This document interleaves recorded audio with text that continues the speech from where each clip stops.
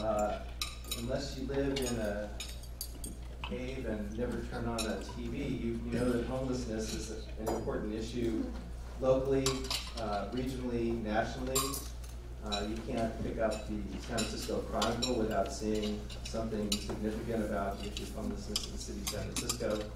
Uh, I get news blasts from the LA Times, and uh, the LA Times uh, newspaper just did a massive six editorial uh, presentation about homelessness in the city of Los Angeles. So it's, it's obviously uh, not a new issue. It's, it's not uh, localized to any particular area. We in Marin are not immune from the issue. And um, the good news is that we've got some very good minds working on the issue. And uh, we have three of them that we are fortunate to be able to listen to today to hear their presentation on the topic. And I'm, I'm very pleased to see this large of a group uh, to come out and hear about this challenging topic, which is not necessarily everyone's favorite topic to discuss. Uh, we begin with Andrew Hening. Andrew moved to San Jose, California in the summer of 2010 through the AmeriCorps VISTA program for a position as the Project Homeless Connect Coordinator for the Santa Clara County. He hosted 13 homeless resource fairs from Palo Alto, to Gilroy, and then took a position with the Downtown Streets team in Santa Clara County, working first as the employment developer and later the manager of employment services. He then moved to Marin County in 2013 to launch, to launch the Downtown Streets team, first team outside of Santa Clara County in this area. Since 2016, he has been the City of San Rafael direct, Director of Homeless Planning and Outreach, where he's responsible for creating and implementing the city's strategy for addressing homelessness. Andrew lives in Berkeley with his wife Joanne, who is the vice principal at a charter school in Richmond. He recently received his MBA from UC Berkeley. Uh, I'll introduce all the speakers and then we can hear them one at a time. Christine Paquette is the executive director for the St. Vincent de Paul Society of Marin County, where she's held management positions for the past 12 years. Before becoming the executive director, Christine spent 14 years in nonprofit development on the east and west coasts. She's a member of Marin's Homeless Policy Steering Committee and is on the board of the Marin Interagency Disaster Coalition. She's taught nonprofit management seminars at UC Berkeley and Dominican University and has served on the development board for the National St. Vincent de Paul Society. a Tiburon native and a graduate of Redwood High School, in UC Berkeley. She currently resides in downtown San Rafael. And uh, last but not least, Ashley Hart McIntyre serves as the homeless policy analyst with Marin County Health and Human Services Department. Since 2008, she's worked with communities across California and in the, in the, in the country generally to develop and implement solutions to homelessness. In Marin, her work is focused on uh, working across agency lines to improve access to housing and services, implement best practices, and prioritize for assistance to those with the highest need. She holds a law degree from the Hastings College of Law at the University of California, but she describes her primary passion as social justice policy work. Ashley lives in San Rafael with her husband Chris and their 13-month-old son Philip. Uh, we will begin with Andrew, and uh, I'm going to let him just go ahead and pass the mic as, as our speakers see fit. Uh, they've, they've done this presentation, and I, I think they have their own uh, idea of how best to do it. And so here we go without further ado, Andrew Hening. Thank you. We were joking that our uh, bosses are here, so make sure you applaud extra loudly. um, so again, I'm Andrew Hening with the City of San Rafael, and uh, today we're going to talk about homelessness in Marin and a lot of the strategic and tactical things that we're doing to address it. We like to start these presentations by first starting with a very simple question that we often forget to ask ourselves, which is this. What would you do if you became homeless? And if you're struggling to answer this question, ask yourself this. If you were traveling through space and you encountered a black hole, what would you do? The answer to both is the same. You would try to avoid it at all costs. What we're finding across the country is that up to 70% of people that become homeless are actually able to self-resolve their homelessness in a relatively short period of time. Uh, and so the question for us really as policymakers and as nonprofits, is what do we do for the folks that can't? So uh, what we're finding is that it's really this interconnected web of issues that people are facing. It's not just housing, it's a job loss, it's health issues, it's mental health challenges, it's the erosion of a social support network. It's all of these things together that are causing homelessness. It's never just one thing. And so if you were to look at this in terms of people that become temporarily homeless, uh, or people that are homeless for much longer, people that are chronically homeless, so this is people that are homeless for a year or longer, uh, and have some sort of disabling challenge, you can see from a community perspective the costs rise exponentially for people to be on the street. So some studies have found that it can cost $60,000 a year or more in public services for someone to be unhoused in our communities. So we also see that this trend holds for community concerns and community complaints. It rises exponentially into this chronically homeless group. And then also in terms of just ethically the vulnerability of these folks, these are the most vulnerable people in our community. Folks that are chronically homeless pass away 20 years earlier than their housed peers from preventable chronic illnesses. So this is a real challenge on many fronts. And so really what we're finding is that 80% of our challenges from homelessness are really stemming from just 20% of the homeless community. And so with that as sort of our core insight of how our system has started to change over the past two years, uh, it really prompted the question of what's been going wrong. Uh, and part of it is that historically, and this isn't just in Marin or San Rafael, I think it's across the whole country, a lot of the focus in homelessness, uh, you know, from the public to funders to a lot of different folks, is on this part of the curve. So the hardest to serve folks are not ending up uh, getting the services that they need. Uh, and part of this is just it happened organically over time. So really modern homelessness, and we can go into this in more detail in the Q&A, but you know, modern homelessness really did begin in the early 1980s. And so it was a lot of different macroeconomic forces that were driving folks um, to the street, and the federal government wasn't involved in the issue. And so communities sort of cobbled together a response over the ensuing 40 years. And so this is a map of our system of care in Marin, and as you can see, Howard Schwartz, who works with Christine at St. Vincent's, he has a PhD, he can't even navigate the system. Why would we expect someone that's addicted to methamphetamine and has a traumatic brain injury to do any better? So part of what's going on is that we have two cycles that are uh, causing chronic homelessness to really uh, continue and be a real challenge for us. Uh, the first is that you have a group of people that are inherently difficult to serve because of the challenges that they're dealing with. Unfortunately, a lot of times we set up programs that have barriers, even if it's a small barrier like sobriety or attendance or having a phone to call to make an appointment. People fail out of these programs, they become distrustful of the system, they don't seek help, and then they actually get worse. And so you can see this vicious, vicious cycle repeating over time for really high needs folks. And then unfortunately, at the same time, you have a longitudinal bias in terms of homelessness. So the longer that you're homeless, the better you become at being homeless. So you can imagine that if you became homeless and you fought really hard and you couldn't get out of it and you ended up on the street, eventually you would begin to find other people that are experiencing homelessness. You would begin to adapt your lifestyle. You would begin to normalize with a very abnormal experience, and then you enter into survival mode. So some people like to say, oh, well, homelessness is a choice. I think any of us can tell you it's not a choice. I think some people are just so much in survival mode that they're not thinking about what am I going to be doing a month from now. They're thinking about what am I going to be doing three hours from now to sleep tonight. And so part of our challenge in terms of outreach and service provision uh, is working with folks and building those relationships. So fortunately, that's the challenge, that's the baseline. Uh, so I'm going to turn it over to Ashley to talk a little bit about what we've been doing as a community to shift uh, our approach and how we're uh, starting to have some really great results.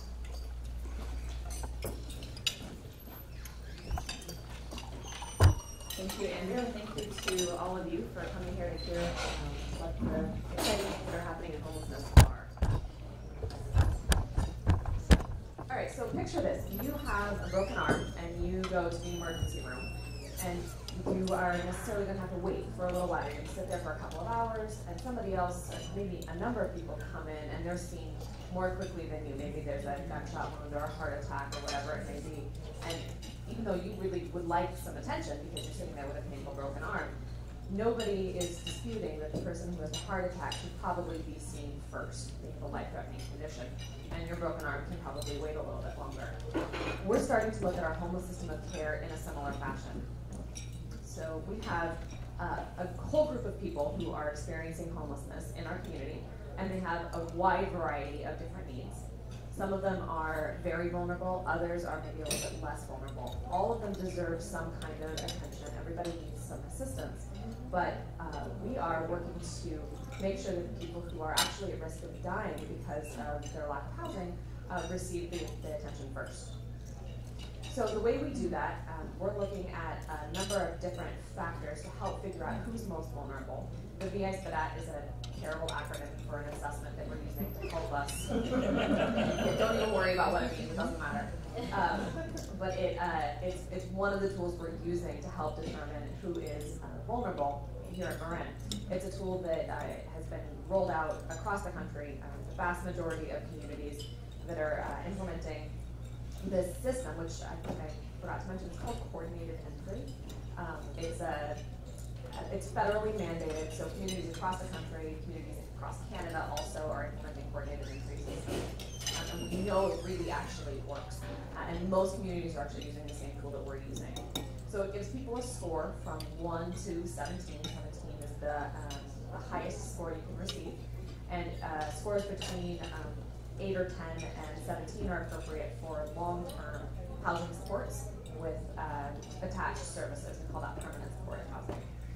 So we uh, are working to assess as many people as possible who are experiencing homelessness in Marin. Um, and we have a, a pool of folks with scores.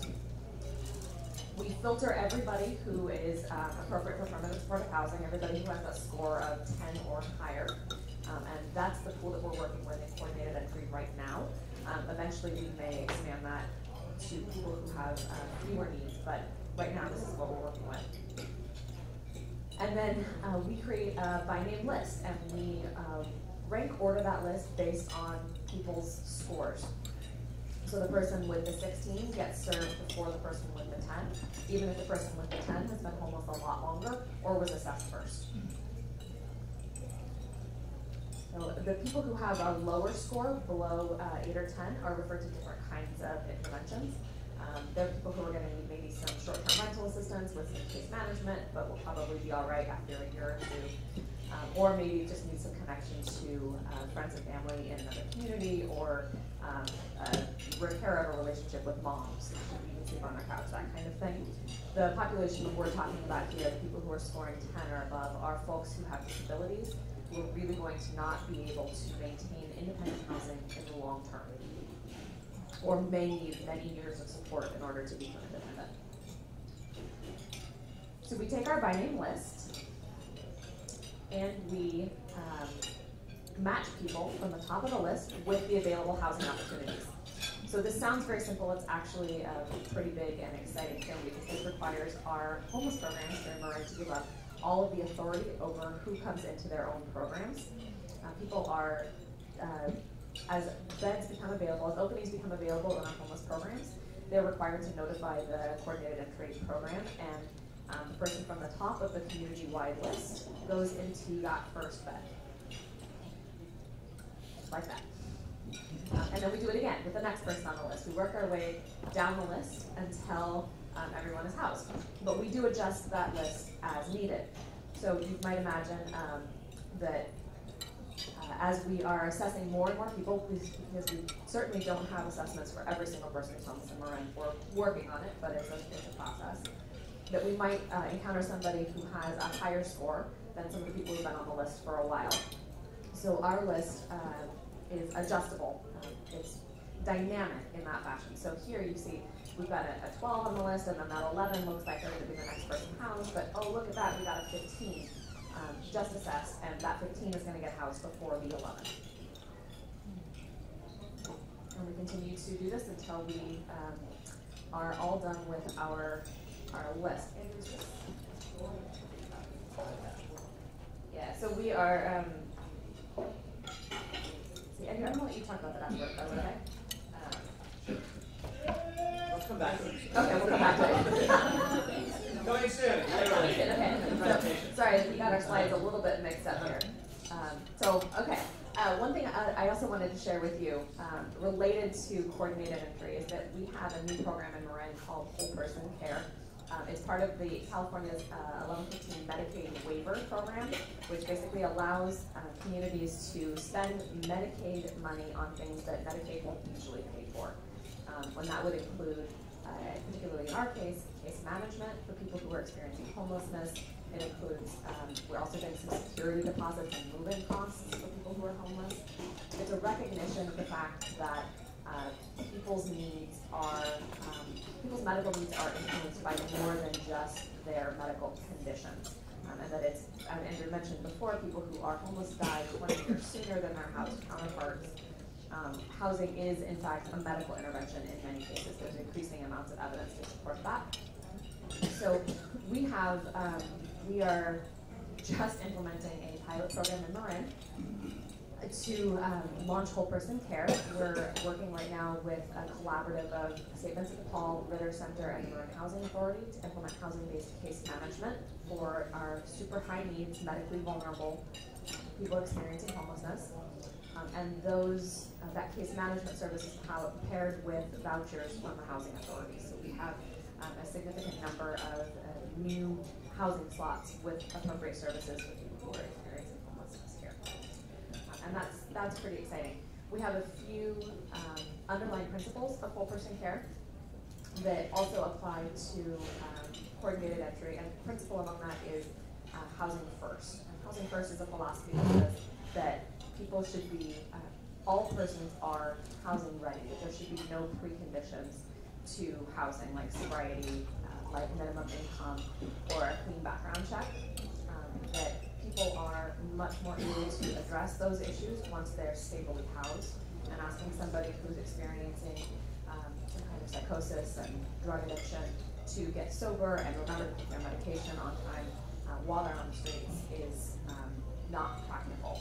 So there's, again, this is a, uh, evidence-based practice implemented um, really worldwide, and there's, there's um, extensive evidence from all kinds of communities, not just big cities like San Francisco and Los Angeles, but from smaller, rural, suburban um, communities also.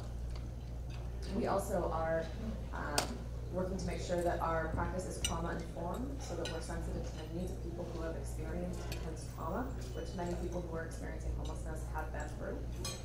Uh, and that our, um,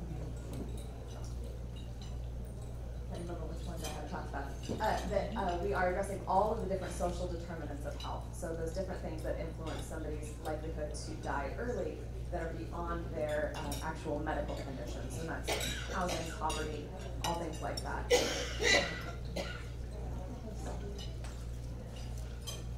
Sorry guys, I can't see the, the fourth one. You think I would know off the top of my head, but. To do that?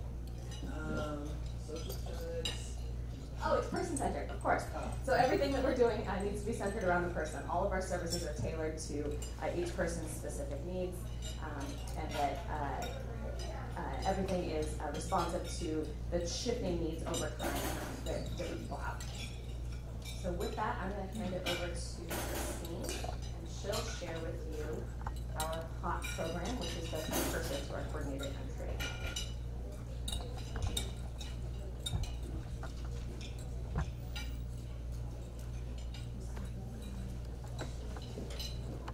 Hi everyone, thanks for coming today. Again, I'm Christine Paquette. I'm the director of the St. Vincent de Paul Society, which is down on B Street in San Rafael.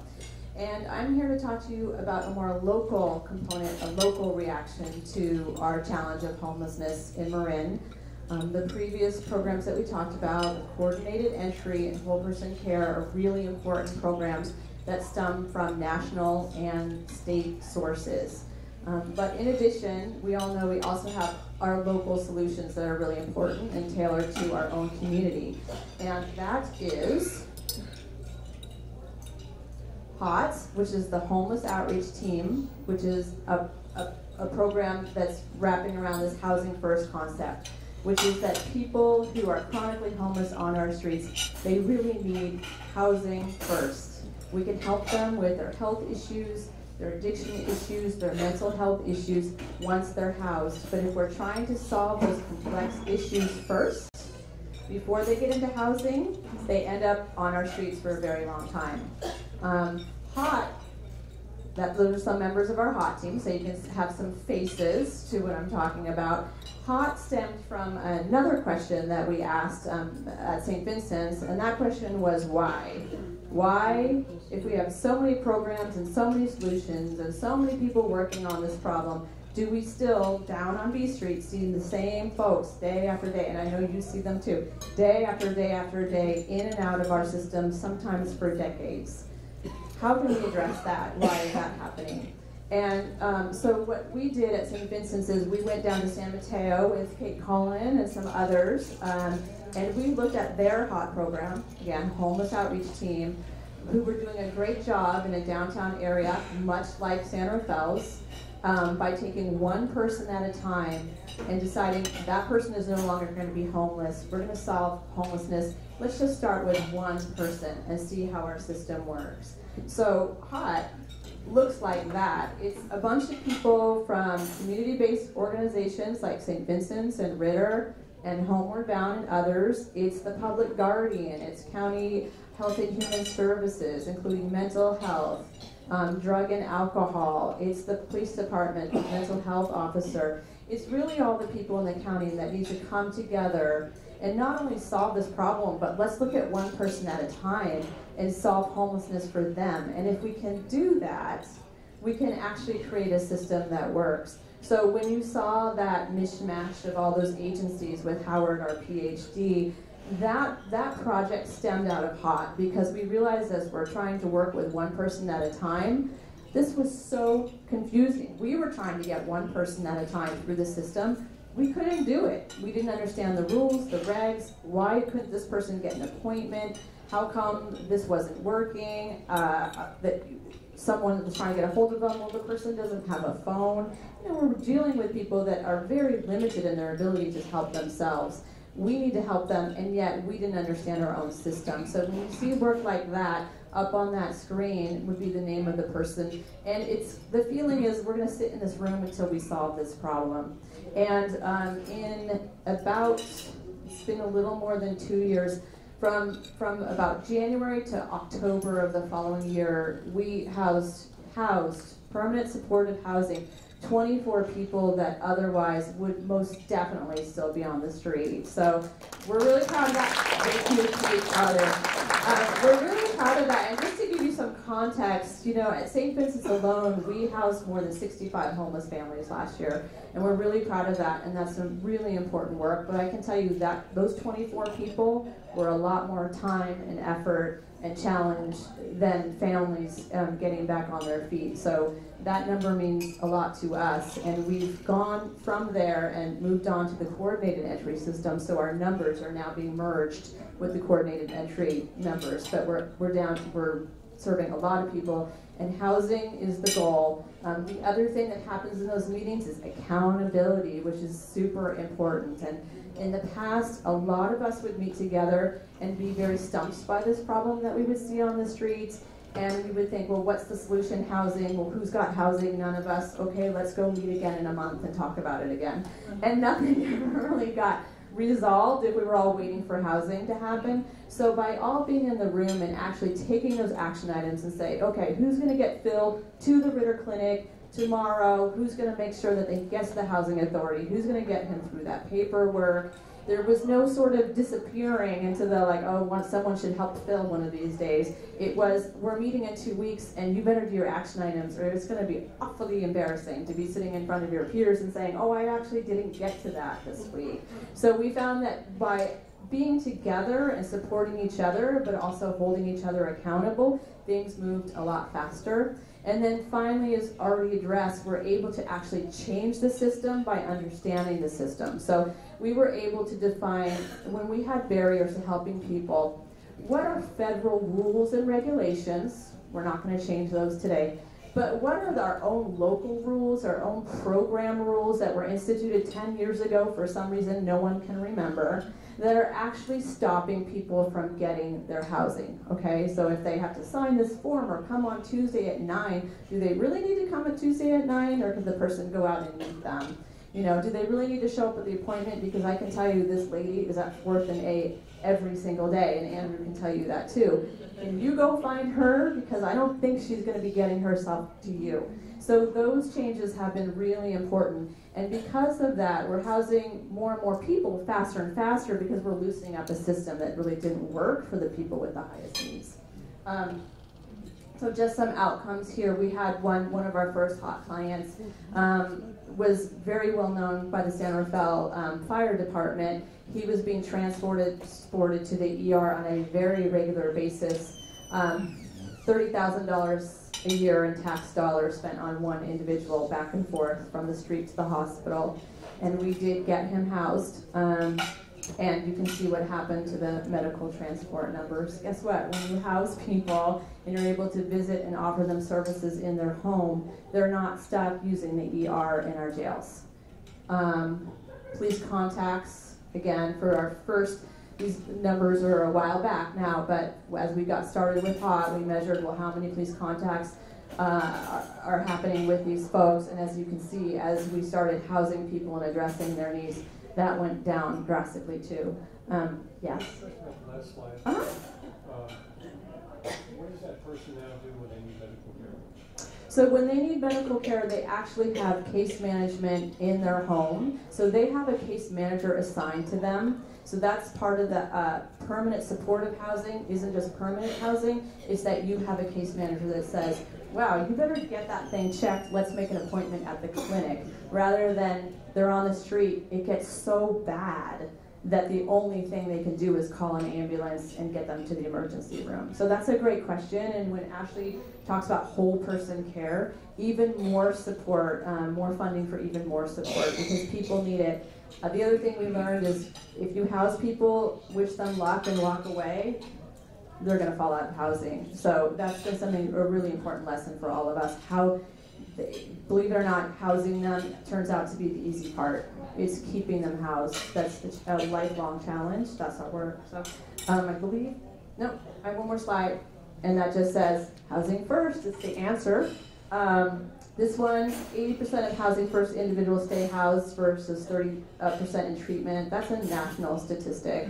Um, so, you know, telling people to pull them up by them, their own bootstraps and get help for their problems, it's not as effective as helping them.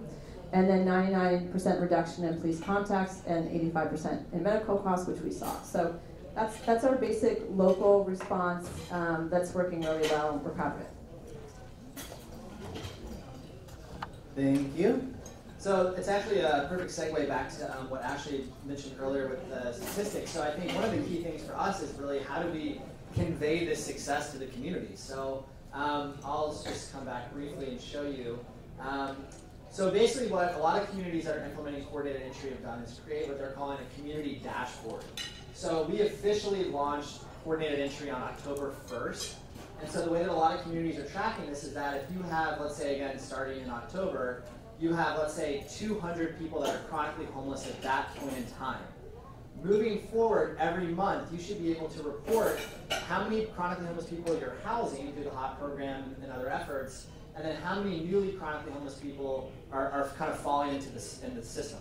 And with that, you get a net number. And so you can see that Riverside County, using this methodology for veterans, they could actually track every single month their progress towards a term called functional zero, which is basically a place where you have housed everyone that's chronically homeless or every homeless veteran, and then moving forward, you're able to house people faster than they're becoming homeless. Because again, homelessness is caused by upstream intervention, so we're just trying to get people back in the house. So that red line is essentially sustainably ending homelessness. So we're, we're starting to get to the place where we can actually report this, have a community dashboard to track that progress, which is really exciting. So one of the questions is, if um, we have all these great things going on, how do people actually get into the system? So there are a lot of ways that we're addressing this, but one thing in particular that I wanted to touch on uh, is this idea of mobile services. So uh, we have a new program that actually just officially launched, I think it was last week, called Marin Mobile Care.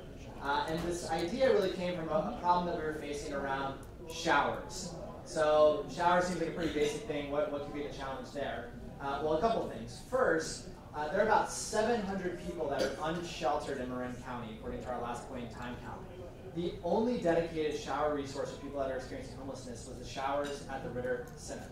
And so that means, given their capacity there, over or less than 20% of the people that were experiencing homelessness in Marin did not have access to regular dedicated hygiene services. The other challenge there is that um, 70% of Marin's homeless community is actually outside of San Rafael. So I want to repeat that. 70% of Marin's homeless community is outside of San Rafael. So you have a dynamic where a lot of people are in need, but the dedicated service is not there to help them. Uh, and then, of course, the last point of this is really how do we make sure that people are not just using a service as a service, but it's really a gateway to housing and long-term uh, sustainability in their life. So when we looked around and tried to figure out what are some uh, examples of uh, different approaches to this in other communities, uh, we found that um, throughout the country, mobile showers was a growing uh, best practice around trying to actually uh, tackle this issue of providing access uh, and meeting people where they are. So um, around us, there's mobile showers in Sonoma, San Francisco, Santa Clara County, on the peninsula.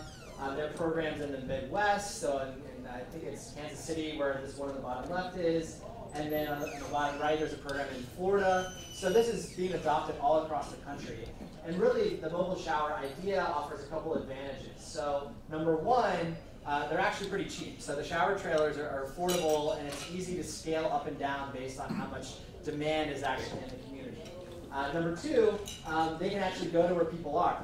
So I know this from you know having you know worked as a, a basic case manager myself and having done outreach before working for the city which is that some people, you can imagine if you have no resources, your entire day might be trying to come up with money to get bus fare, to then go to another community to get a service, and then you have to sign up and wait, and then you have to go back, and th that's your day. You haven't accomplished anything towards finding employment or finding housing. So really, if we can get a service to where people are, it's efficient for them, uh, and it provides a better way for them to, um, you know, again, have, pursue their time in a better way. Um, the other thing with mobile showers is that it obviously reduces the amount of loitering or impact in any one area. They go in sort of in a surgical way for a couple hours and then they're gone. So you don't have these impacts of loitering or having long-term congregation in certain areas. And then most importantly for us is just the integration with this new coordinated entry system. So there are, again, like I said, there are a lot of people that are not homeless in San Rafael, but are in other parts of the community that don't have regular access to our system of care. And so if we can actually get to those people, we have a better way of getting people that are vulnerable on Richardson Bay or in Novato or in West Marin into our system of care. So fortunately, uh, Downtown Streets team stepped up and um, said that they would actually manage and run this program. So this is some of our original concept art for what the shower units look like. And like I said last week, um, they have actually launched the program. This is Karen with Downtown Streets team at the unit. Um, and you can see that this is what the actual unit looks like in our community. This isn't just like a sales picture. This is the real unit in our community. So very exciting. Uh, and the great thing really has been, I think, that it's opened a platform for us to really engage, uh, at least from San Rafael's perspective, with other communities and cities and towns in Marin. So, for example, uh, we donated a pickup truck to the, the program. Karen, let's jump in, um, and then the city of Larkspur donated another truck. Um, the capital cost for the actual shower units came from Marin Community Foundation, and then MCCMC, so the Marin County Council of Mayors and Council members, good enough, Kate's nodding, so that works. Um, they actually um, set aside funding for the operations of the program. So that's a um, that group has something called the Community Homeless Fund, which is all the cities and towns in Marin contributing funding to one pool of funding that now can go to a regional intervention like the shower. So across the board, it's a win-win-win for everyone. Um, the showers have uh, launched in San Rafael and in Novato, and then Ashley and Karen and I have been going and meeting with different jurisdictions, especially in kind of southern central Marin, uh, so Sausalito, Marin City, Larkspur, Fairfax, to try to get a southern rotation of shower shifts as well. So um, this is really coming along quite nicely, and again, it's one of the gateways that we have to try to get people into the coordinated entry system. Uh, and then long term, hopefully, this can really become a platform for adding other services as well. So especially with whole person care, increased medical, you can imagine if you had a shower um, in a certain area, you could also pair that with nurse practitioners, with mental health practitioners, uh, with benefit registration. So really, again, providing all those services in a convenient way to people that need the help. So that brings us to the last uh, point, which none of this is uh, really worth anything if we're not getting people housing. Yeah? Oh, I was going to ask you, in terms of the mobile Yeah. If we encounter someone, we say all the time, Yeah. in Larkspur, Yeah. how do we contact you or whoever to go meet person that? Um, that's a good point. So at least in terms of the shower program, so. What. Oh, sorry. Um, the question was if you encounter someone in another community that might want to engage with the showers, how would you refer them to it? Um, I believe the website is live, marinmobilecare.org. Um, so they have all the details about the program. They have the schedules on there. Um, Karen also, I think, has printed actual physical cards. So if people are, if you're seeing folks, you she could probably get you the cards, and then you could pass that to people of what the shower schedule is. Um, and then her email address is karen at streetsteam.org, and I'm happy to provide that afterwards. Yeah. Um, so again, um, the whole thing that we're doing here is trying to get people back into housing. So as long as if we're doing all these other things and we're not focused on housing, it's, it's kind of for naught. So the important piece here is that we're really focused on housing as well. And, and I'm excited to announce that we've really been trying to um, come at this in a new way uh, to really create more units for people that, that need them, and they, obviously there's a demand. Um, so you'll remember the chart that I showed you earlier about all the different reasons that people are not able to, or they might end up on the street. This chart also applies to our sort of conventional approach to housing creation in our community. So um, I'll give you just one example in San Rafael. So right after I started, um, there was a, a property owner in San Rafael. He owns a commercial property. He approached the community about basically he wanted to sell his building, have it converted into residential, and then that would be new housing in the community for folks. Uh, and it took us almost two years to even just get that property properly evaluated, you could say. So part of that is because there's this very disjointed nature of housing creation in our community where there are all these different advocacy, advocacy groups, we have different nonprofits, we have our different policymakers, we have different funders, and there might be kind of bilateral conversations, but we're not really on the same page strategically overall. And so um, what we've been talking about is creating uh, an effort that we're um, kind of terming at this point opening doors Marin. And the idea here is really to create more of a centralized coordination function across all these different stakeholders around one strategy. So the vision is really uh, quarterback the creation of, of housing in Marin. And again, that's kind of the key word, it's quarterbacking. So it's really connecting the dots for people. It doesn't need doesn't mean we need to create some new infrastructure. It just means we need to collaborate better around opportunities. Um, and then the short-term mission, connecting back to coordinated entry, is we want to really establish a model by working to actually end chronic homelessness in our community. So create enough housing to end chronic homelessness in our community. Uh, and we believe, uh, we've been working together as a group, and this is again, electeds from across the county, um, city managers from across the county, um, private sector real estate folks, the faith-based community, our nonprofit partners, the county. Um, we're really working together to create a community business plan about how to do that. And I want to show you that this isn't just you know, an intellectual exercise. We've really broken down here. You can see our projection according to the 2017 homeless point in time count is that there are about 350, uh, 360 people that are chronically homeless in our community when that was done.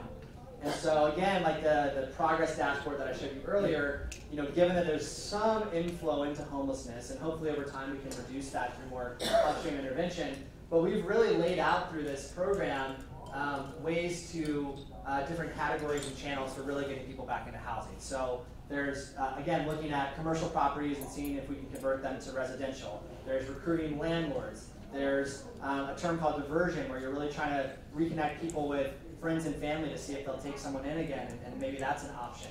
Um, and then of course there's you know the tiny home movement, accessory dwelling units. So you can see that we've really tried to get specific with numbers around what is realistic to achieve in our community, uh, and we're trying to create working groups that are really responsible and accountable into each one of these uh, different housing channels. Uh, and so again, you can see where the projection comes from. We believe that if this is successful, in four years, we can end chronic homelessness in our community. So that's really exciting. Uh, communities across the country using coordinated entry, working on housing, are ending chronic homelessness, they're ending veteran homelessness. So, you know, we're no different. And, and a lot of the partners that we talk to that are outside of Marin, they really say it's a pretty manageable challenge here. I mean, if you think about Los Angeles County, there's 60,000 people that are uh, homeless in that community. um, that's more people than are in Santa Fe. So um, this, you know, our 300 people, that's that's achievable. So uh, if we're really working together, we can get that done. So uh, with that, I think that concludes our formal presentation, and we'll do questions.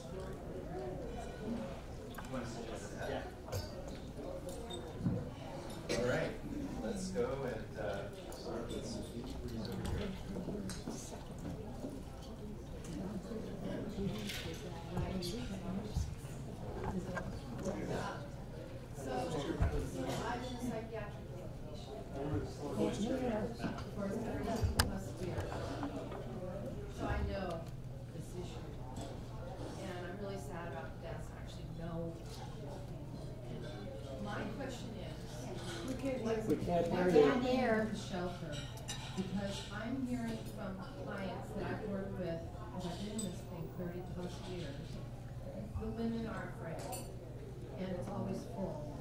And I just, you know, and I'm just curious, what is your plan around the shelter? And.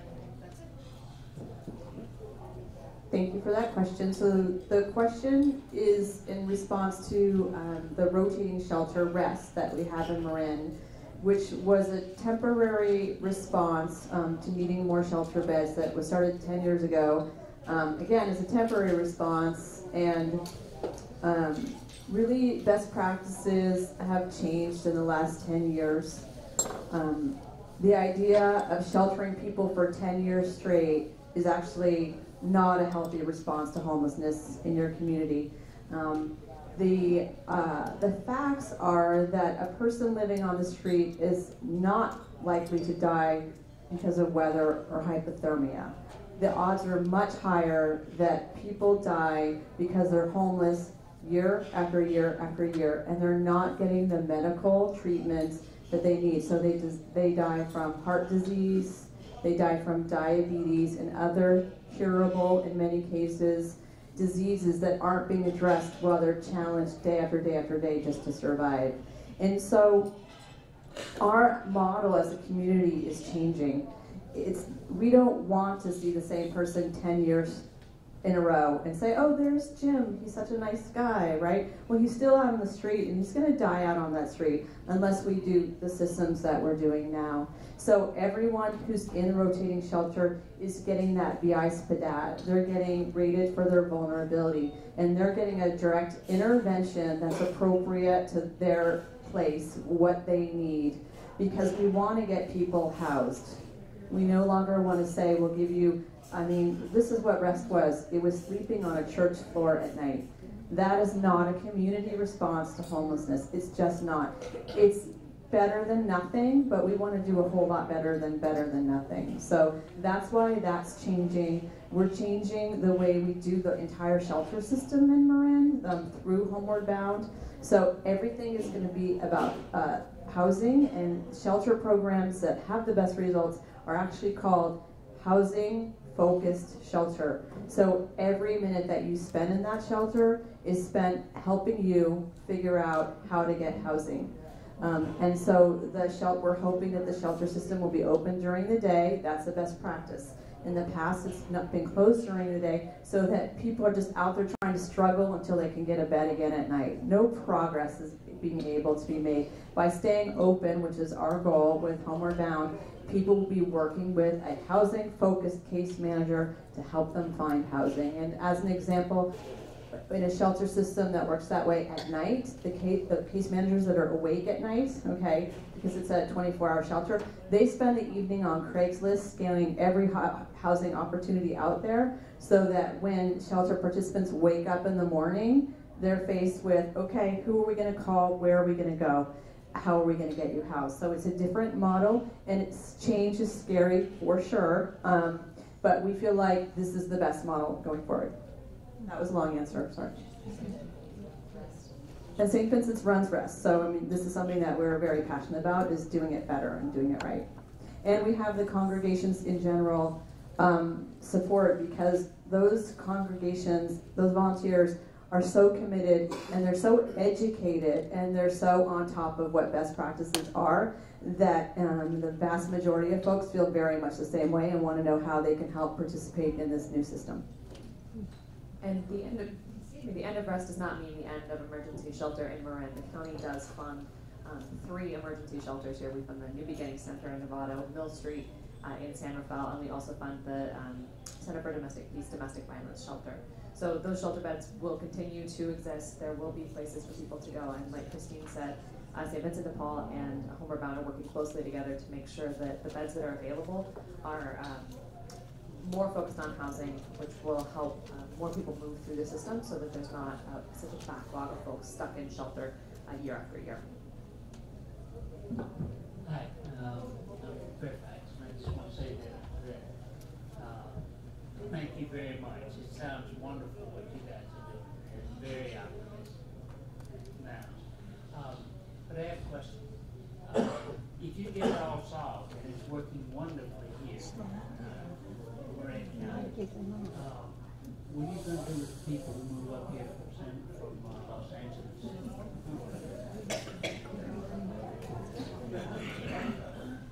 So uh, we found. Uh, What's the and our numbers- question? Oh, our, our question is, so if we manage to house successfully everybody who's homeless here in Marin, what do we do with the new folks who come in from other communities?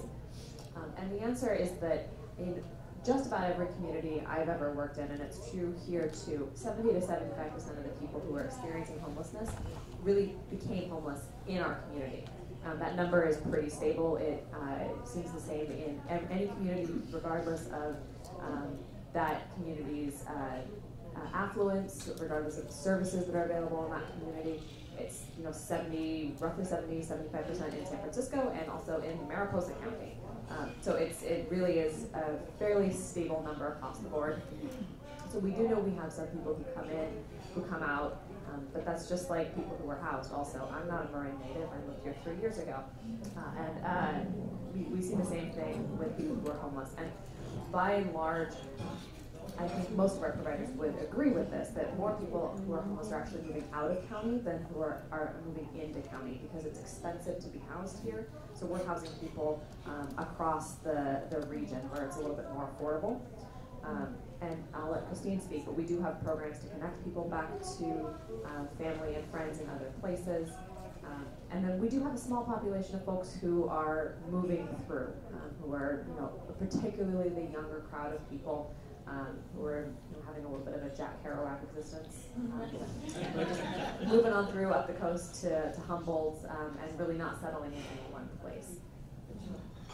Um, Well, quickly, uh, again, because we're monitoring other communities um, that are doing this exact same work, the communities that are functional zero or close to it have reported that that has not happened. So they, they found the cure, they're working in the community, they don't have droves of people moving in and saying, okay, I'm going to be housed next. And really the profile of people who are chronically homeless is that they tend to stay where they are. That's, again, that's rigorously researched numbers, that people tend to stay where they know they can be, where they know they can sleep safely under, you know, under this doorway in this town, and these are their friends, and this is their group, and there's where they take their shower. So generally, they're not that transitory, except for what Ashley said, the younger people. That um, I found out that we have a lot of people that want to go to Terrapin Crossroads and like hang out with the dead. So um, that's another group that I didn't even know about. But the young people coming through town, a lot of them are actually there for that experience. They come, they stay for a little while, and they leave. And those aren't the people that we see as chronically homeless. Yeah, I would just add one final thing more generally, which is that um, the city of Santa Rafael, the county, St. Vincent's, Homeward Bound, Ritter Center, and the Housing Authority are all involved in something called um, Community Solutions, the Build for Zero campaign. And so this is basically a national effort to get communities across the country using this coordinated entry model. And so it's not only cities and towns in, in California, but it's you know my hometown, Richmond, Virginia. It's Madison, Wisconsin. It's the Mississippi Delta. I mean, this is a national issue. It's not just unique to California.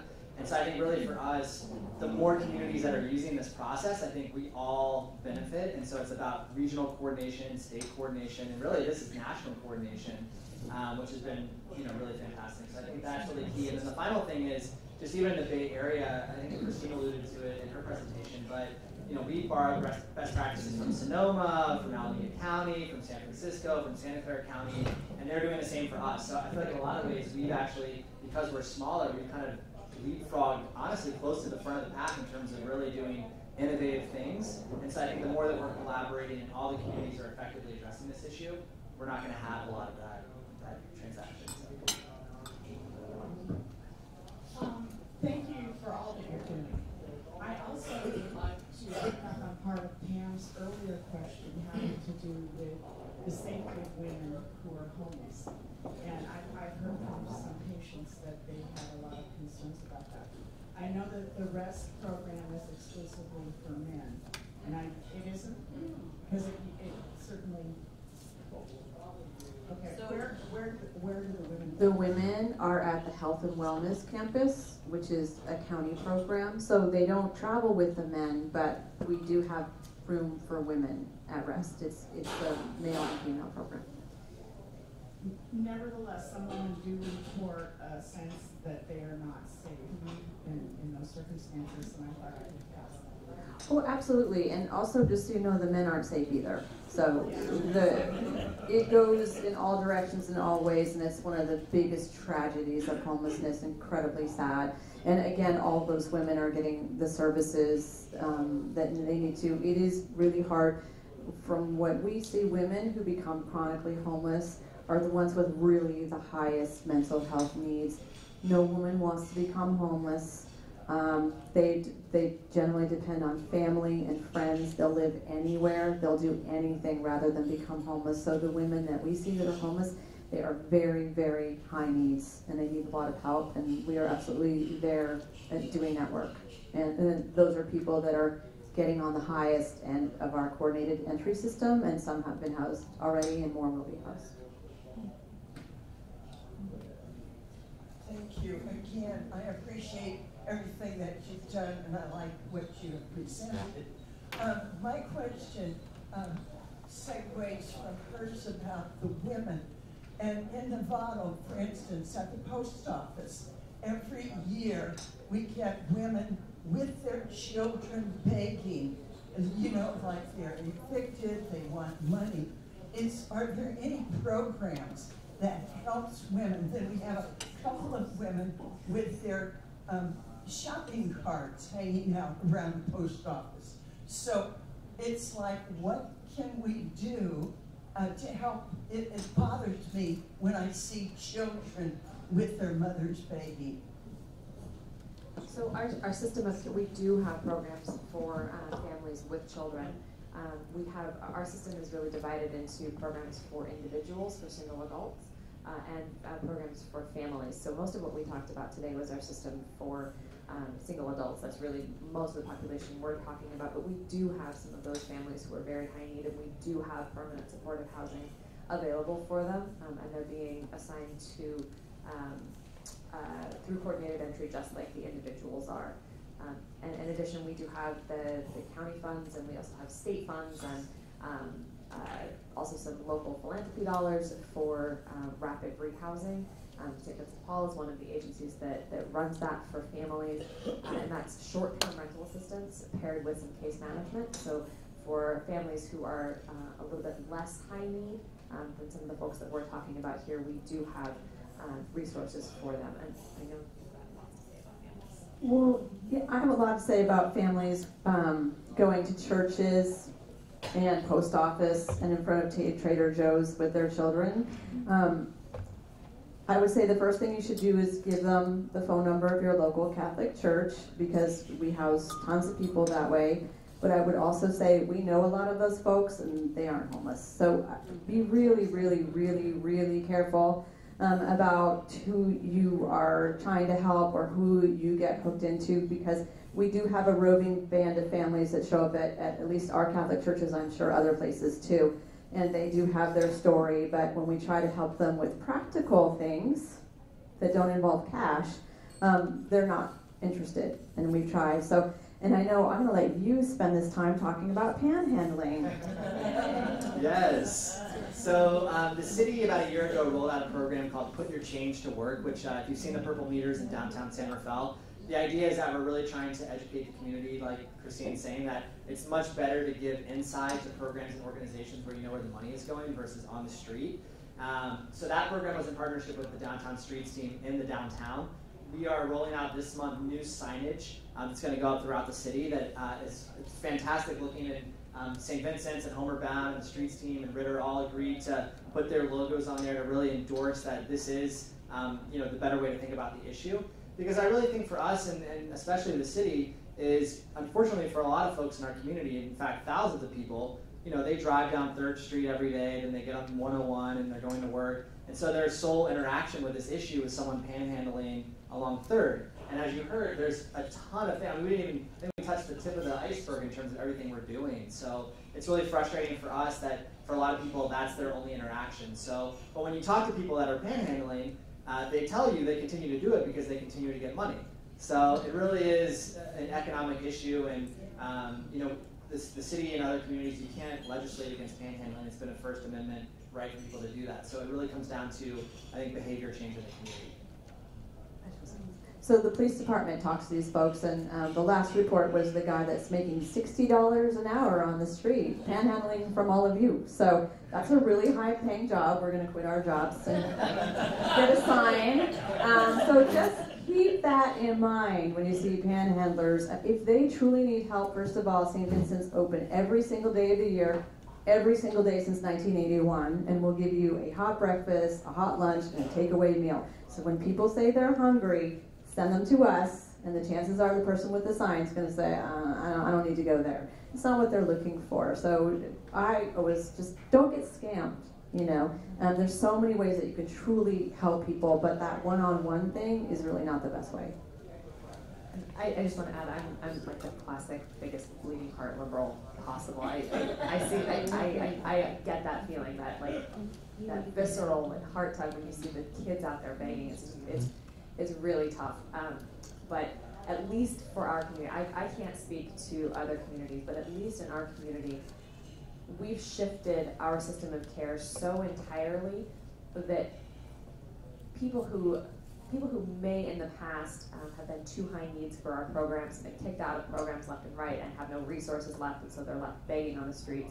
That's not the situation here in Marin anymore. Um, those high needs people we're not leaving them behind. If we can't get them into housing, we're continuing to engage them. We've got outreach workers focused on them. We're trying to build trust. We're doing everything we can to bring in those high needs people so that nobody is left behind.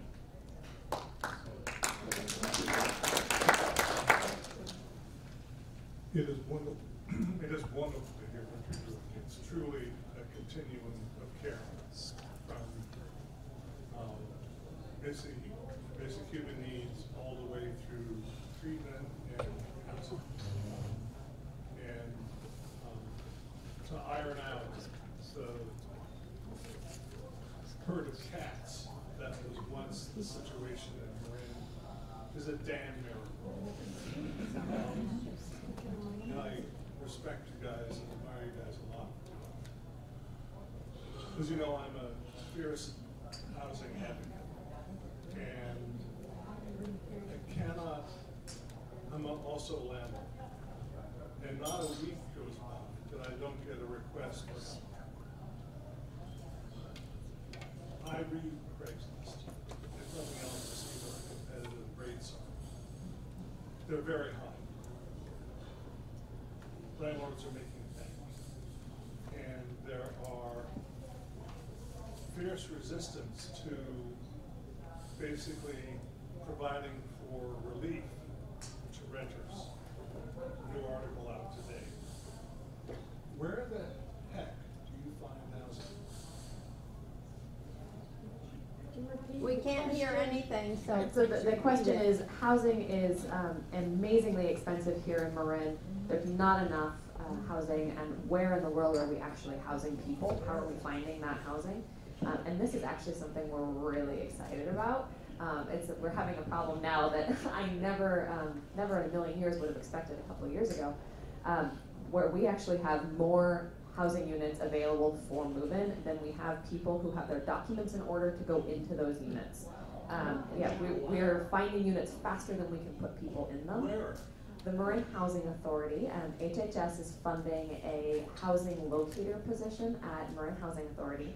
Um, and that uh, so typically um, it's you, it's case managers who are doing housing searches for people. You're working with your person, you get online, you look at Craigslist, you call landlords, and these are social workers. Uh, they are not real estate people, but the person at Marin Housing, she's she speaks landlord. Uh, she's got a long history of real estate experience here in Marin, um, and she says things that um, you, you definitely would not hear a social worker say. For some reason, landlords really like it, um, and they respect her. And we've gotten, um, I don't, do you guys remember how many landlords to?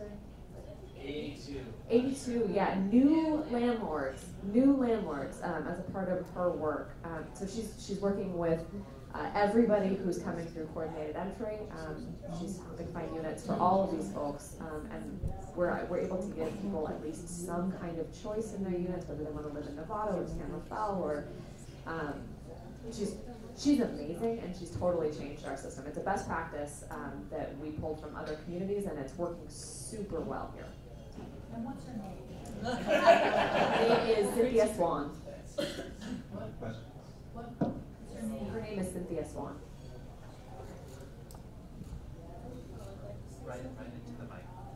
First of all, I want to say something about the people that they were in the valley, the Ralph, the man that came three times, bringing the children and their mother, and then they say they don't need help, they just, and then later on, you can do something and helping them. So, the children, with the mother, they should be small, it's terrible, so the small town children being exploited. So I look at what the police force the second thing I wanted to say, I think the way we look at over dollars is hard us. And we give people occupational training is, is something that can't be addressed. But that economic need is so strong. Thank you. So I'll just, if, if I may just offer a comment, um, that in a. Could you repeat We couldn't Oh, so it, it was a, um, Hang uh, two things. One about uh, the situation of, um, uh, families begging in Mill Valley, um, and then also about how wonderful it is, particularly at Homeward Bound, that occupational training is being offered for people who are homeless because economic needs are so high. Um, and yes, that's, that's fantastic. We, we have some really great employment training programs here in Marin. Um, and it's great that those are, are available. But not everybody can take advantage of, of those kinds of programs. A lot of the folks that we're talking about, those really high needs, people who are being housed at the top of our coordinated entry list, may not actually ever be able to go through a program like that. But the good news is that our permanent supportive housing vouchers um, take their income into account. So if you have zero income, you pay zero dollars. Um, if you have you know thirty dollars of income um, per month, you pay ten dollars. Um, it's it's really um, very minimal for people who are really the, the highest needs. So you don't have to find a job if you really are not going to be able to. On the other hand, as people start to stabilize and really want more engagement in the world, absolutely we offer those services, and it's fantastic that they're there. Hi, is Cynthia Jackson. First of all, I want to thank you guys more than you can imagine because a few years ago there was nothing. And as you know, we've been going to meetings for years and years. and I've never seen any kind of detailed work and actual scaling and what's going on. You guys have done. Thank you so much. We appreciate it more than labor love. Um, I have one question and probably, um, Dr. Colfax might have been able to answer this one. But given, uh, you know, how you were saying, um, eventually, you know, homeless, chronic homelessness will go down. And, and of course, I'm sure it will. You guys keep plugging away and we keep the community engaged. That's a big part of it. But also, um, there will always be job economic terms. But my question is, the HOT team is doing so great. That once you get people housed in there, and especially we're talking about people with chronic mental illness, uh, a change of medication, or their medication won't work anymore, could send them into a tailspin. Has anyone discussed or thought about an IHOT team as well, which is stopping that person from becoming homeless in the first place once you've got them housed? Having an in-house outreach team for people who are at risk. Uh, I know several families right now whose kids are being kicked out um, but there's no services in that way that can help them. there's no outreach, I mean, there's the mobile crisis team and everything, but, but everything is really taxed.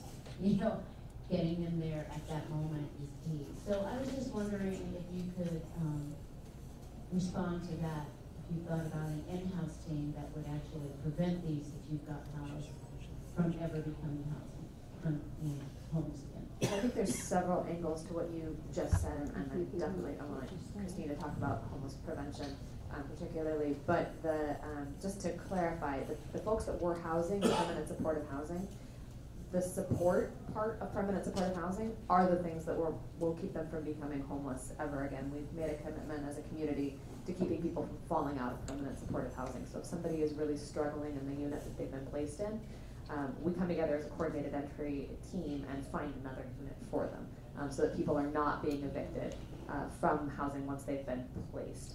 Um, and then the other thing is that uh, whole person care uh, part of um, what that program is, is doing, it's housing-based case management, but also um, medical case management. And the, there's a single case plan for somebody that, that the medical case manager and the housing case manager are both using. So they can see, the housing case manager can see if somebody's medication has shifted um, and uh, watch that and be pay close attention and they can communicate with the medical case manager or with the, the doctors if something starts to go wrong. So there are those supports starting to become available in addition, in terms of preventing homelessness, which is what all of us want, um, St. Vincent's does have a program that we've been running since 1946 in Marin, and that's called Home Visits. It's for homelessness prevention. If you know anyone that's going to lose their housing, they're going to get an eviction notice, or they're staring at one, um, oftentimes that happens because someone's hours at work were cut back temporarily, or someone got sick, or there's a divorce and all of a sudden landlord's knocking on the door and you don't have your rent that month, please call St. Vincent. So you can call our line, you can look it up, um, in San Rafael, or again, call your local Catholic church because we have home visit volunteers in every single city and town in Marin. We do about 1,400 home visits a year in Marin to people under those circumstances help about 2,800 people, and a third of those people are children under the age of 18. So we have a lot of families that are living on the edge, and our volunteers go to their home, two volunteers at a time, day, night, weekend, holiday, whatever works best for that family, and helps them solve that temporary crisis. If it's a long-term crisis, like you literally cannot afford your rent anymore, then they will help you look for a new place to live pay your moving costs and pay your rental deposit for your new, more affordable place. So we don't want anyone to become homeless. We're working really hard at getting homeless people out in housing. So we don't want one more person to become that statistic. So um, we spend almost a million dollars a year doing that. Um, and that's the program that we do because we have amazing volunteers and very charitable donors that help make that happen. So. And you don't have to be Catholic, it's nothing to do with that. Not at all. You can be anybody. And then one final thing, just I think for the group, I know you all are very, you know your stuff around this issue. I would just tell the group, because it's something that I didn't fully appreciate till this role, is that a lot of the mental health policy specifically in, in California is really at a state level. So we've had a very unique opportunity with the HOT team to really deep dive some of these issues. And we've really found that in some cases there just simply are not enough beds for people that need long-term assistance. Um, some people obviously are not uh, open to treatment, and, and, you know treatment's a choice uh, at this point um, for the vast majority of people, even when they're severely, gravely disabled. Um, and then, you know, I think again, as was mentioned earlier, I think Ashley said this, but you know, what Medicaid is paying for, if it can pay for housing, if it can. Uh, my understanding is I think it gets cut, cut off when people get into custody. So for people that are going in and out of the jail because of their behavior, if they're losing their health insurance and they can't continue their treatment, it's a real problem. So I think, you know, really there's things that we can do locally, but not losing the focus at a state level that there's still a lot more that we need to do for, for mental health. Another question over here. I'm interested in the population of homeless. You had 701 right in June 450 or 48, I think it was. Uh, what is the fluctuation over the years, over the last 20 years of the homeless? Uh, is it a steady climb or is it a steady decline or is there fits and Valley? Um, so it, it's kind of a, a moving target, unfortunately. I, I think part of it is just the methodology we use. So the way it, we count is that every odd year in January, the federal government requires that communities go out and count everyone that's homeless at that point in time. So it's really sort of a function of how well that count is done and that methodology is done. I think now we have our methodology dialed in pretty well. Uh, it's still a matter of execution, but um, but to give you the kind of general picture in Marin, uh, our current number in 2017 was there were about 1,100 people that were experiencing homelessness. I didn't hear. 1,100. 1,100. 1,100 total. Um, of that, about 700, as I mentioned, are unsheltered. So they're not in programs, they're not in shelter, they're not in transitional housing, so they're, they're actually on the street. And then of the 1,100, about 360 of those folks are chronically homeless. So those are the, the long-term um, And how people. does that compare over twenty-year period? Uh, over a 20-year period, I, I don't know that. I would say since 2008 there was a major uptick, obviously. Um, but I don't know if you have numbers on that. So they don't, don't, our numbers don't go back that far, so that's part of the problem, and because our methodology has shifted, um, i- if you look at the twenty thirteen count compared to the twenty fifteen count, it looks like there was a forty percent increase, but, it, it- so the number of people we counted between twenty thirteen and twenty fifteen went up by forty percent. Forty percent. But that does not reflect an actual change in the number of people who were homeless, it's just the number of people we counted. Our methodology changed pretty radically, um, and we discovered we were not capturing a huge number of people who were experiencing homelessness. So um, I think over quite a long period of time, based on provider reports, our, our number has been fairly constant. Um, Eleven hundred is pretty, pretty constant. Yeah. So some fairly constant. Um, and then uh, nationwide, numbers are actually starting to go down. On average, um, in this last count cycle, things went up a little bit, but only because of increases in uh, high income areas like uh, San, San Francisco and Los Angeles and New York. But nationwide, um, count numbers are really going down, and particularly among veterans. Um, veteran counts are really just tanking, which is amazing. There's been so many resources poured into veteran homelessness. It's being ended in community after community.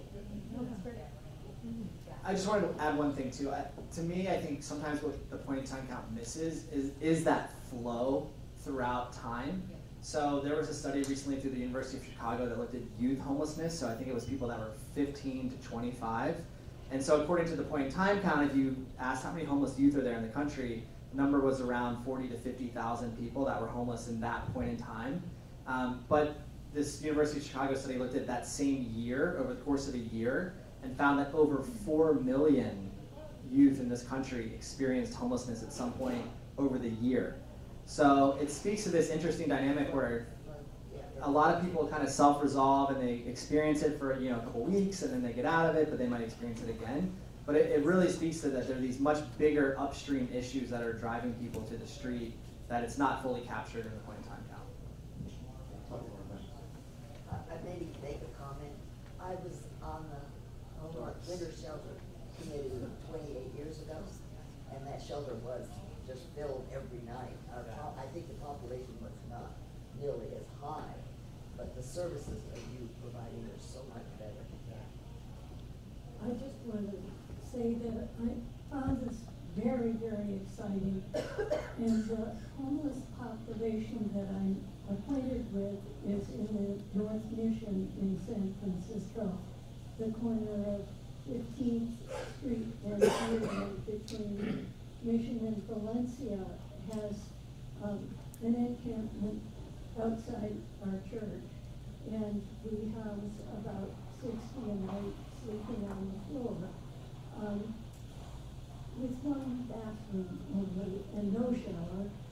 I, I think we need to do something more, and I'm wondering if Jeff, um, Jeff, Jeff Kositsky, I think he's the, uh, homeless czar for San Francisco. I wonder if you've spoken with him, if he's acquainted with what you're doing. Well, I, I know that he, um, I, I've met him at least, I mean, I think he, he's actively trying to implement coordinated entry there as well. You can just imagine though that the scale of the issue is about ten times larger at least. And so for us, I think what's been kind of a, a beautiful thing is that we have a relatively small number of providers. So if we can come together as a team pretty easily, we've now implemented releases of information so we can talk to each other more easily. I think our technology's in a better place. So he's basically trying to do all of that, but I think, you know, again, times 10 the number of people that are involved and the layers of bureaucracy. So it's a challenge for sure. One thing that I think is really promising, though, that I, I'm pretty sure that the city of San Francisco is doing and um, the county of Los Angeles is moving towards, though, is creating a local housing voucher pool. So right now, we were talking earlier about recruiting landlords and we're in housing authority. We have about 2,000 vouchers in, in our community that people can use for, for rental assistance. That number is capped by HUD, so the Department of Housing and Urban Development. So I think most people in this room would probably agree the current administration is putting some challenges in place. So across the country, uh, there's been a, a, budget cut for every housing authority in the country. So communities have fewer federally funded vouchers that they can use to house people. And so I think other communities are having more success, for example, going to, let's say, a Marin General, and we say, look, like, the, the graph that we showed you earlier, you know, hey, Bob's not coming in as often as he was. That's saving you a ton of money. Why don't you invest $3 million in our local housing voucher pool, and then we can use those vouchers in coordinated entry. Uh, and then it's having that conversation with the criminal justice system and, you know, philanthropic partners. So I think that's something that would be really awesome here, and I think it's something that he's trying to do there. Uh, and, and he got a bunch of money through Tipping Point. Uh, I think it was $100 million to implement that. So, so anyway. How can I help bring what you're doing to my corner in San Francisco? That's a good question. Um, have someone call us. That's what I would say. Call, have them call Andrew Hening. Fine. Um, but we do take our show to the other counties, and we've learned so much from other counties and, and their best practices, and we're always happy to bring our best practices to others. And for example, we went to Berkeley uh, not too long ago to learn their best practice, and it was like it was a big whoops moment when we realized we were head and shoulders above where they are, and it was pretty scary. And their issue is their uh, elected officials just aren't on board with current practices. And their housing authority is not at the table. Well, you know, God bless the Red Housing Authority because they are a really important partner and totally committed to ending homelessness in Marin, and we couldn't do it without them. And in Berkeley, it's like, no, I'm not going to come to your meetings, and you're not going to come to my meetings, and no public officials are saying you need to go to each other's meetings, right? And so they're they're they're way behind, and it and it shows. So if there's anyone who wants to talk to us, we're always happy to share what has worked. I'll just add two small things, one of which is that, um, yes, I want to absolutely second and third and fourth what Christine said about the housing authority. We could not, could, I could not do anything that we're doing here without the housing authority's cooperation. The, the new vouchers that we're um, implementing, the housing authority came to us and said, we'd like to designate some of these vouchers to people who are experiencing chronic homelessness. Um, they're running our coordinated entry program. I mean, it's just, they've been, they've been amazing.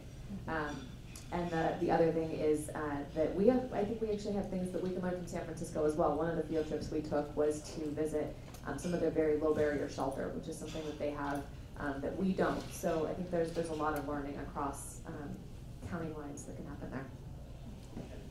Hi, I want to say, um, just for the education of the audience, uh, I know you guys know about this, but um, for the last 11 years, some mental health advocates, primarily family members, have been trying to get what's called Laura's Law in place here in this county. It is still not implemented. And what it is for the audience's information is it's utilizing the, um, the court system to get people who are perhaps maybe paranoid schizophrenics who do not willingly sign up for um, services because they're afraid. They think people are trying to kill them. So why would you sign up for services, right? Uh, anyway, this has not been implemented. We're looking now forward to the, our new director of behavioral health, who may, I mean, we're hoping against hope, because this is exactly one of the last little, what would you call it, little bits of a piece of the puzzle that will get people off the streets. For example, there is a man who is only 47 years old but looks like he's 74. sitting on, on Third Street and Tamalpais, hiding behind, um, uh, the, uh, mailbox, uh, thing that's there, or just sitting on the street, and it's been day after day after day. And I know people have talked to him, but he is not gonna sign up for services because he doesn't feel safe. So if you could address what you plan to do about people like this. Do all of you know the man that I, I'm talking about? Have you seen him? Yeah. Um, and he doesn't think he's sick, he just wants to sit there on Third Street. So he is deteriorating. I know, I've known this man for a long time. He is a, he's a Novato native, and he, um, is certainly deserving of services. And, uh, but anyway, I'd like to hear what you might have to say about how you address people like that, without Laura's Law and then with Laura's Law. Well, I think, um, we're, none of us are experts in Laura's Law, so, so the answering exactly what we would do under Laura's Law, I don't, think it's probably a little beyond our scope here. We do have a new director of behavioral health at Health and Human Services who just started a few days ago. Um, and he came from San Mateo County, and I think he's just gonna be fabulous. Um, so that's exciting, I'm sure you'll hear from him at some point. Um, the gentleman that, uh, Barbara was speaking about is somebody who's absolutely on our radars, um, we're not, we have some, we can't share information about him, but, um, we're not giving up. That's exactly the sort of person that we're talking about when we say we're working to make sure nobody gets left behind. Um, you guys want? Yeah, I mean, I, I would just add again, operationally, it, it's a real challenge, and I think this is again one of the, the, the elements at the state level that really is a challenge for local jurisdictions. So we, the city of San Rafael, funds a mental health resource officer through our police department. Her name's Lynn Murphy. She's downtown every single day doing outreach to folks in the homeless community.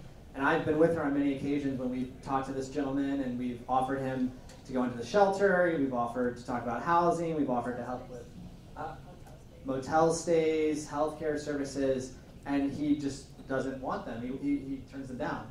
Uh, and this is a challenge that plays out for many, many individuals that uh, unfortunately they don't, like you said, um, realize they're ill. I mean, it's actually, if you can imagine, a symptom of the condition to not even be able to recognize that in yourself. So um, it, it's a huge challenge. I do know that um, if you search um, KQED Forum, if you know the program, um, Scott Wiener in San Francisco, um, who's, I guess, a state senator at this point, he's introduced new legislation at a state level to re-examine the conservatorship laws in California. So part of the challenge that we find is that um, right now, if let's say I had a psychotic break and then I was committed because I was a danger to myself or others, if I clear up in, um, let's say, in the crisis stabilization unit, if I take medication, I take a shower, I have a good meal, and then I go see a judge 24 hours later while I'm doing okay now, I would be released back to the street. And so for some people, this, I'm not exaggerating, this happens a hundred, like will happen a hundred times. So these people are literally just dying on our street. And so I think what um, Senator Wiener is trying to achieve is basically allowing jurisdictions to look into people's history or to look at you know service attempts in the past, do longer holds so that people can receive services for longer. Um, so that's something that's been presented. I, I, you know, again, I don't know the particulars on that, but um, of the legislation, but I think that kind of idea has some merit. Well, this is, may I just, this is where Laura's Law, which is court-ordered assisted outpatient treatment, would help you guys get him in, because a mental health uh, clinician would go out with you to the street, assess him, and boom, boom, he's in the hospital. And before he leaves that hospital, once he's stabilized or she's stabilized, they will go before a judge. Most of the time, they don't need to be court ordered because they don't like the back room effect. And so then, boom, they're in a mental health system and can get housing for a minimal of six months. It's wraparound services. We're just waiting. The, supervisors passed it last year. We're waiting for it to be implemented, which trust me, you will love it when it is. You won't have to keep going back. I was So- at that meeting when it was passed. I had no idea it was not in place. Not, it's supposed to be implemented in June, and we hope that it is, Yeah, because we're not that's, stopping. that's a shame. It was supposed to be implemented last year. We're hoping for this year. But it will definitely benefit you guys' jobs immensely. Okay, well, I think we've run out of time. I want to thank Andrew Hening, Christine Paquette, Ashley Hart McIntyre for an extraordinary exchange of ideas. Thank all of you for your input as well. Uh, we do have to wrap up, but let's thank our speakers.